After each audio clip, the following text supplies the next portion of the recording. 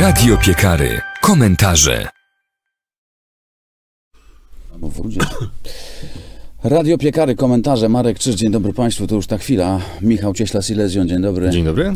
Jan Dziadul, polityka, Witam. redaktorze. Powyborcza rzeczywistość, próbujemy ją w tej chwili opisać.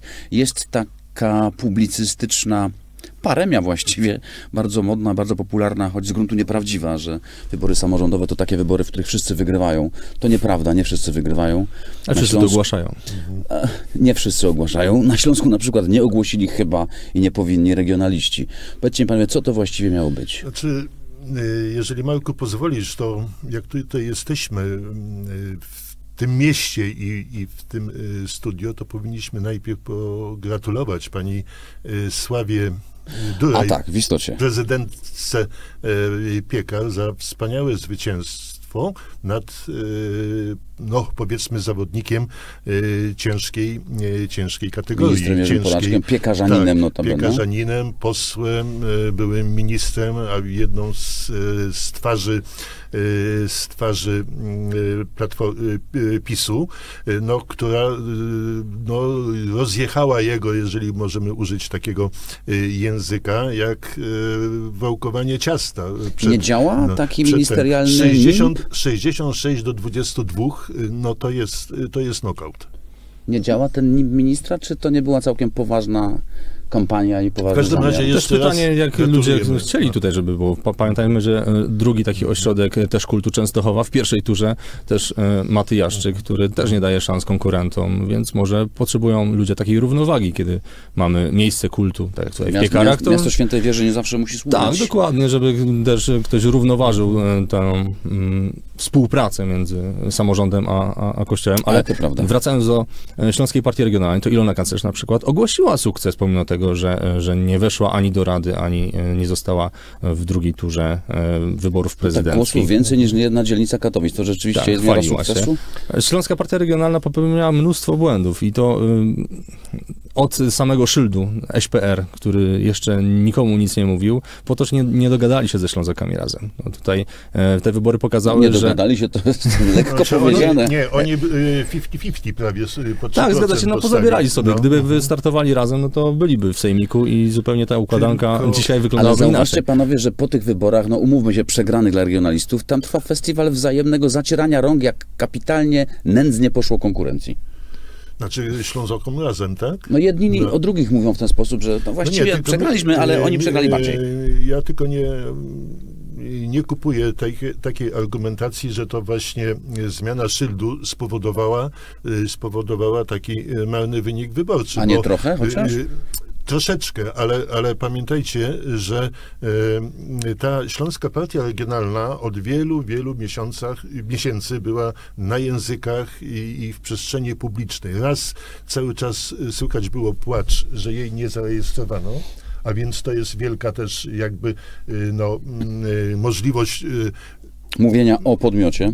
mówienia o podmiocie. Potem e, euforia, że zarejestrowano. Był czas kampanii, e, kampanii wyborczej, któ- w której no, nikt tym regionalistom w niczym nie przeszkadzał.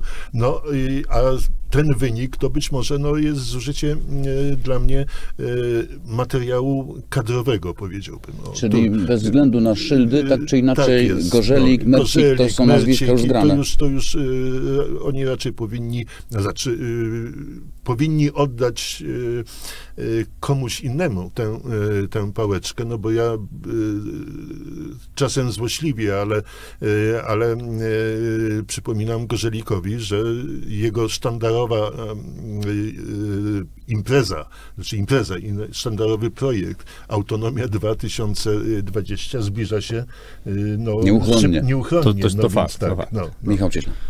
Ale Śląska Partia Regionalna popełnia też inny błąd. Y, Oni zamienili e, autonomię na samorządność i to już tak nie grzało. I, I Ślązacy e, w wielu komentarzach mówili, że wypieli się na nas, nie rozmawiali z nami, organizowali konferencje prasowe, a nie przyszli porozmawiać z nami, czego my chcemy. I to jest też taki wyraźny sygnał, że być może w przyszłorocznych wyborach parlamentarnych wróci temat autonomii śląskiej i SPR albo RAŚ wystartuje w wyborach parlamentarnych, bo Gorzelik coś musi zrobić. To, to, to co pan powiedział, dwa, dwa, autonomia 2020, no do 2023 roku regionaliści nie mają do powiedzenia tutaj nic. A jaki jest potencjał, waszym zdaniem, taki liczbowy, wyborczy tego środowiska, które przegrało?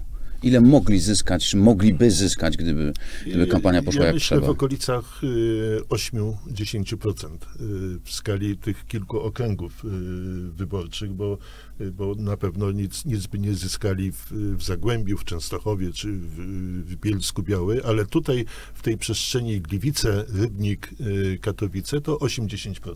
Cztery mandaty były do utrzymania, to niewątpliwie. Szczególnie w Chorzowie jeszcze była szansa na to, żeby poza Merdzikiem e, wszedł e, sz- dwójka, czyli Otte.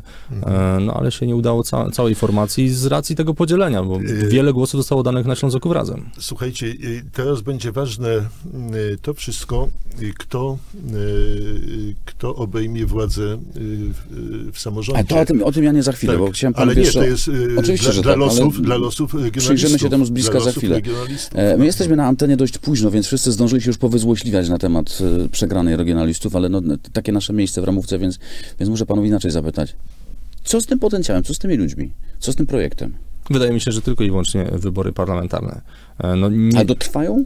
Tak, To nie tak, jest długo, ale tam się mogą zacząć różnego rodzaju rozliczenia, e, jakieś e, demonizowanie pretensji, wywlekanie różnych rzeczy, przekładanie winy z jednego na drugiego. No na pewno, ale są też nowe postaci, które wprowadziła Śląska Partia Regionalna. To jest pewien sukces Rasiu, że w tym nowej e, formule SPR-u zaprosił nowe osoby do formacji. I nie mówię o Bogusławie Cioku, który pociągnął tą formację w dół, ale e, na przykład Olek Knich, który uzyskał chyba najlepszy wynik e, wśród regionalistów, e, przedsiębiorca, szeroko e, jakby popierany także w tym regionie i mógłby wprowadzić zupełnie nową jakość, gdyby była potrzeba to, e, co tutaj słyszeliśmy, żeby wprowadzić nowe twarze. E, Jerzy Gorzelik e, jest takim Kaczyńskim PiSu, czyli bez niego nie wygrają, a z nim też nie wygrają, e, tak jakby chcieli, E, ale Wydaje mi się, że to hasło autonomii i przywrócenia godności Ślązakom jest aktualne. Problem polega na tym, że e, tym samym głosem już mówi Koalicja Obywatelska. Przetrwają dwa szyldy Mhm. do tych wyborów? Y, To Ślązocy razem i SPR? Oni muszą się po, pogodzić. Tutaj ewidentnie widać, że konsolidacja i współpraca daje efekt. No, pamiętajmy o tym, że PiS to nie jest tylko i wyłącznie PiS, ale to jest szeroka koalicja e, partii rządzących i koalicja obywatelska To też to, też, koalicja. to też koalicja, więc potrzeba koalicji śląskiej.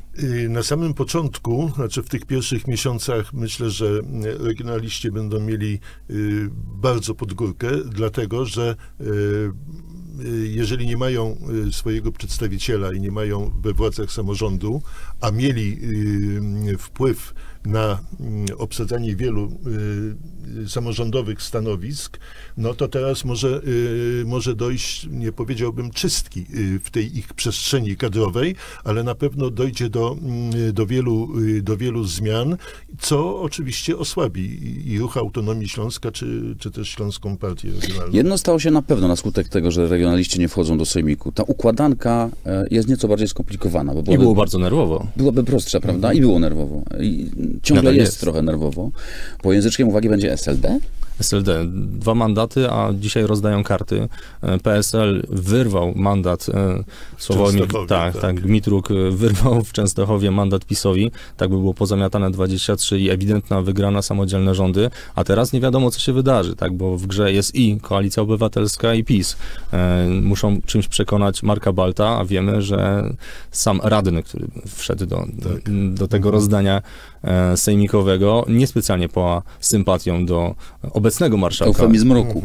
Niespecjalnie Znaczy myślę, że wszystko, y, wszystko, y, nie wiem jakie są tutaj czasowe ramy, ale chyba za miesiąc ma się zebrać. y, y, 16 listopada. 16, no, no powiedzmy za, trochę wcześniej. Wszystko się okaże na pierwszej sesji Sejmiku Samorządowego. Wtedy zobaczymy, czy PiSowi udało się wyłuskać kogoś y, z tej y, y, z, y, y, z koalicji obywatelskiej, a może odwrotnie, czy PiSowi uda się przekonać Sojusz Lewicy Demokratycznej, a y, taki przypadek na przykład w, w, w współpracy w, w Katowicach miał miejsce, kiedy Moskwa poparł, y, poparł pana prezydenta y, Krupę, no tu dopiero y, to, ta cała, to wszystko u, y, ujawni się w dniu pierwszego posiedzenia. Tylko to jest, panowie, y, tak, Włodzimierz. Czarzasty, zarządzający Sojuszem Lewicy, Lewicy Demokratycznej mówi, nie, nie ma żadnych koalicji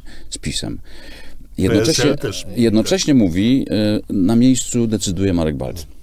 Zgadza się. Więc zastanawiam się, jak się to może skończyć. To może się skończyć z tym, że mm, Marek Balt zdecyduje się na pójście z tymi, kto zaproponuje, żeby był marszałkiem. Albo To jedni i drudzy mogą zaproponować. Oczywiście. Tutaj y, kalkulacje polityczne będą miały miejsce. Pamiętajmy o tych wyborach, y, które w przyszłym roku. I ich wynik też może znacząco wpłynąć na kształt koalicji. E, W ogóle ta pięcioletnia koalicja Sejmiku może się przechylać raz w jedną, raz w drugą stronę. Ona nie będzie tak stabilna, jak ta, która się aktualnie kończy.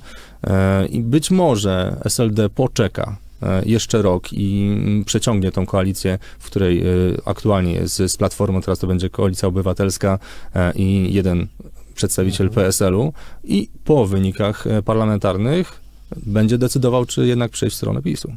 Nie, ale to też e, e, to jest oferta na 5 lat, więc jak komuś zaproponują na przykład e, nie, w, powiedzmy w firmach państwowych niezłą e, posadę, e, no to, to ludzie inaczej kalkulują, patrząc na swój portfel. lat. Tak, to jest w końcu 5 lat, patrząc na swój portfel. Także te barwy polityczne mogą, e, mogą ulec zmianie. Może być tak, że barwy polityczne zostaną barwami politycznymi, a będą przetasowania samych radnych, którzy nagle zapałają y, miłością y, do pieniędzy bądź stanowisk, które może dać albo jedna, albo druga A strona. kto ma według was więcej do zaproponowania? PiS czy Koalicja Obywatelska? No, PiS ewidentnie ma karty do spółek Skarbu Państwa, gdzie Oczywiście. nie trzeba się specjalnie dużo pojawiać, a dostawać e, niezłe pieniądze, ale Urząd Marszałkowski, szczególnie e, ten śląski, e, ma dużo do zaoferowania i szpitale, i koleje śląskie, i stadion śląski, i cały Park Śląski, który e, aktualnie ma bardzo dobrą pozycję No. finansową. Muzeum Śląskie, Orkiestra Symfoniczna, ale,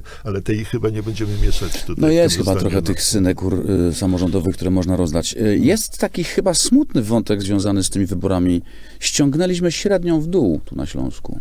To jest właśnie e, to, o czym może to jest właśnie porażka regionalistów. Mówią o autonomii, a nie są w stanie zaangażować, szczególnie w tych śląskich regionach. Przecież najniższa e, frekwencja była w Zabrzu. E, 41% Zgadza tak samo się. w Rudzie Śląskiej.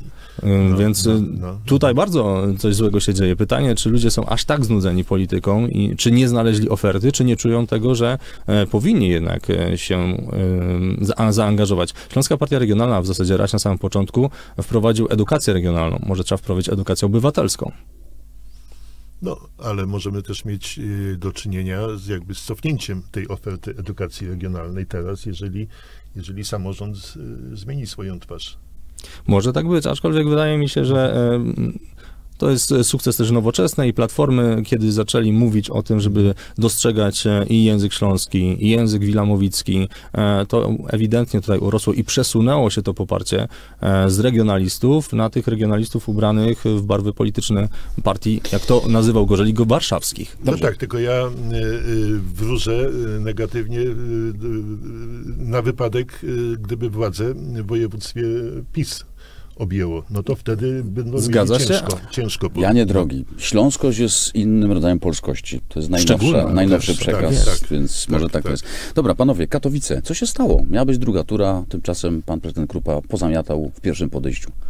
Może być to zaskakujące, ale Marcin Krupa jako jedyny na, swoje, na karcie do głosowania miał znaczek swojego komitetu, który rozwiewał wątpliwości, czy to jest kandydat PiSu, czy to jest kandydat SLD. Tam był e, symbol forum samorządowego, który od razu się rzucał w oczy na karcie i być może wielu niezdecydowanych zdecydowało się postawić tam A co pan swój prezydent krzyżyk. zdaniem po prostu na- świadomie na- unikał tych pocałunków PiSu i SLD? On starał się bardzo, on, znaczy on bardzo przytulał SLD w momencie, kiedy e, otrzymał to poparcie, e, żeby zrównoważyć to poparcie PiSu. No pamiętajmy o tym, że e, PiS bardzo wspominał o, o, na swojej tak. konwencji wyborczej o panu prezydencie, nawet zaoferowano odbudowę szalonego pomysłu kolegi na południe.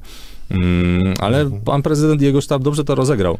Tylko mam takie wrażenie, że e, sztabowcy e, Marcina Krupy, całe forum samorządowe bardzo skupiło się na tym, żeby odciągnąć wizję poparcia PiSu i tak walczyli o tym, żeby zbudować e, pozycję prezydenta, że zapomnieli o tym, że sami musieliby się dostać do Rady. A w Katowicach zwyciężyła Koalicja Obywatelska. Ona ma 12 głosów, 11 głosów ma forum samorządowe i teraz jest duży zgryz. To będzie kohabitacja. Zgadza się. No, być może powstanie wielka e, koalicja, e, czego e, moim Katowicom, byłemu miastu mojemu, życzę, ale myślę, że tutaj pan prezydent Krupa pokazał się jako, tak w cudzysłowie to ujmujmy, ujmijmy, dobry gracz, dobry gracz polityczny, że z tego namaszczenia, namaszczenia przez Kaczyńskiego, no, y, wyszedł obronną ręką, bo cały czas, znaczy on tego namaszczenia osobiście nie odebrał i cały czas, cały czas grał kandydata bezpartyjnego, a, to, a ten pocałunek SLD też mu okazuje się nie, nie, nie, nie przeszkodził. W każdym razie no, wielka wygrana w Katowicach. Chociaż ja przypuszczałem, że dojdzie do, do, do, do, drugiej, do drugiej tury. Tak też wynikało z sondaży, które realizowaliśmy i pierwsze, i drugie przed wyborami. Mhm. E, ewidentnie mhm. coś w ostatniej chwili zadecydowało o tym, że mhm. może ludzie nie chcieli iść na drugą turę wyborów. było podzielić tych niezdecydowanych i przydzielić im konkretne afiliacje przy politykach i wtedy by wyszło, że ale w Katowicach jest jeszcze y, drugi zwycięzca, chociaż y, zajął trzecie miejsce, pan sędzia y, Gwizdek, który bez... Taki bez, moralny zwycięzca, tak, bo do rany tak, też się dostał. Bez żadnej kampanii takiej w sensie, w sensie politycznym. No i deklaruje, że to nie jest jego ostatnie słowo, że jeszcze by chciał, żeby że, polityka że, była jego że nie chce, nie chce, żeby to, była, żeby był to jego epizod w historii politycznej miasta. Cokolwiek się za tym kryje, no to, to z nadzieją trzeba czekać, że pan sędzia no, jeszcze będzie, będzie, będzie pokazywał się. Częstochowa wyjaśniła wszystkie swoje meandry bardzo szybko w pierwszej turze. A co z Bielskiem? Bielsko była bardzo ciekawa, bo jeżeli mówimy, jeżeli mówimy o tych zwycięzcach, którzy nie weszli do, do ostatecznego rozegrania, tam Janusz Okrzesik teraz rozdaje karty, e, bo dwaj główni konkurenci e, będą się bili o prezydenturę, ale rzeczywiście on wprowadził taką ilość radnych, bez którego e, rządów w Bielsku nie będzie. No i wygrało, wygrał PiS, bo ma 10 radnych, Koalicja Obywatelska ma 7, Krywód ma 3, no ale teraz Okrzesik będzie też rozdawał karty i od niego będzie zależało, czy pójdzie z tymi partiami politycznymi, czy nie, bo pamiętajmy, że w kampanii wyborczej on straszył i prezesem z PiSu i prezesem tak, z, tak. z, Platformy Obywatelskiej, więc teraz ma takie e, pewnie moralną zagwozdkę, na kogo postawić i czy brać udział e, w rządach, czy nie. No właśnie w Bielsku się głosy rozłożyły prawie po jednej po trzeciej, jednej po jednej tak. trzeciej i ta, ta jedna trzecia okrzesika, no y, będzie miała tutaj To nie jest języczek uwagi, to jest ozór. Tak, tak, tak. Naprawdę decydujące znaczenie, który, który z tych y, panów z dwójki pierwszej y, zostanie prezydentem. Ja myślę, że, mm, że jednak ten koalicja obywatelska jest, jest w stanie przejąć Bielsko. No i nasza duma i chwała, Janie Drogi, Siemianowice, prawie chyba rekordzista w skali Polski. 84%. 84% nasz prezydent Piech. Prezydent Piech. No, no. Z, poparciem, z poparciem Matki Boskiej. No, to jest sprzed lat, co prawda, ale tak. chyba zadziałało. To ale rzeczywiście. Ale to jest chyba przykład na to, że po prostu zagłosowano na człowieka, który, który tego miasta nie zepsuł nie zepsuł, a wizerunkowo y, poprawił i ulice, i, i, i chodniki. Co nie jest łatwe, bo Siemianowice tak, to nie jest ani mekka tak, turystyczna, tak, ani przemysłowe i, Zagłębie. I, i, I te place zabaw, i bardzo świetnie y, rozgrywany tak zwany fundusz obywatelski na, na inicjatywy lokalne, także no nie było powodu, żeby żeby nawet myśleć o zmianie y, pana prezydenta. Niewiele mówili znaczy, dobrego y, o y, frekwencji na Śląsku, ale warto się przy, pochylić nad frekwencją w Polsce. To naprawdę jest chyba budujące, prawie 55%. To jest postęp o ładnych kilka procent w porównaniu z tym, co 4 lata temu. Co się stało? Mhm. No, myślę, że Warszawa tak zmotywowała ludzi wizja, e, że decydować e, może taki elektorat powiedzmy sztywny, twardy, betonowy PiSu, zmotywowały tych, którzy bardzo lekko podchodzili e, do tych wyborów i e, tym razem nie możemy mówić o tym, że ludzie poszli na wybory, bo była za pogoda i nie wyjechali nigdzie indziej, bo te kolejki przed... No niespotykany widok. Mhm. To niespotykany widok i pamiętajmy o tym, że wielu tych, którzy nie chciałby zdecydować w tym momencie by odeszło, a wielka kolejka nie stoi, a jednak oni stali do końca no ja i głosowanie że, było nawet po 21. Że mój akt wyborczy nie był czteroprzymiotnikowy. Tajny nie był na pewno. Mhm. Miejsca były trzy, ludzi chyba z 50, więc... Ale to, to nie ale to nie tylko yy, to nie tylko Warszawa, to w ogóle yy, wielkie miasta, które przecież frekwencja w wielkich miastach, gdzie no, zwy, zwyciężyli ci, którzy, którzy byli albo, albo z namaszczenia koalicji obywatelskiej, wielkie miasta miały większą frekwencję niż ta średnia krajowa, bo dochodziło do 60 i, i więcej, i więcej procent, a więc jakby no, yy, mobilizacja wykształciuchów. Poprzyglądamy się jeszcze w nadchodzących tygodniach tym układankom, bo one, jak Państwo się domyślają, dopiero się rozpoczęły. Nie wszystko jest jeszcze jasne. Więc na koniec muszę Panów zapytać, co z tym Śląskiem, co z tym Oświęcimiem? Jakaś klątwa nad tym miejscem, co nad e, drogą do Oświęcimia ciąży. Tym No, razem, raz- to- tym razem to- i Mielin. Tym razem mieli, ale No to znaczy, ja destynacja myślę, ta sama. ja myślę, że tak, że tutaj też trzeba mm, wziąć pod uwagę zmianę boru na y, SOP. SOP. na SOP. Nowi ludzie nie umieją jeszcze jeździć na zderzaku, a, po, po, a poza tym od 1 stycznia jazda na zderzaku będzie, y, będzie karana. No więc y, no to, to wszystko się wzięło do kupy. Tak, tam jeszcze w tej I- flocie jakieś auta zostały, no bo tam się kruszy jedno auto po drugim. Pytanie, kto je bę- te auto będzie ubezpieczał.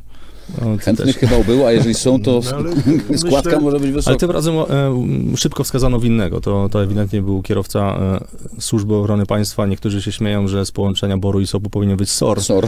E, I w tym momencie e, to wskazuje na umiejętności. No To, to, ta instytucja przestała być teflonowa. Teraz każdy najmniejszy wypadek, każda najmniejsza kolizja, zarysowanie e, będzie działało na niej niekorzyść i tym gorzej dla tej służby, dlatego że ci ludzie, z tego co rozmawiałem już na samym początku, jak e, była zmiana zboru na SOB, są mega zestresowani, dlatego że tam presja jest ogromna. Prasy dobrej nie mają, z całą pewnością. Zawsze są też e, auta na wynajem, więc... e, Tak. Wiesz, tak, tak, tak. Tylko właśnie się zastanawiam, dlaczego te nieszczęścia drogowe dopadają panią premier y, Szydło najczęściej. która zaczęła weekend w czwartek. No. Fajnie. Koniec śmiechów na ten temat. Michał Cieśla, Jan Dziękuję bardzo. Marek Czyż, bardzo dziękujemy za Dziękuję spotkanie. bardzo. Widzimy się za tydzień. Do zobaczenia. Radio Piekary. Komentarze.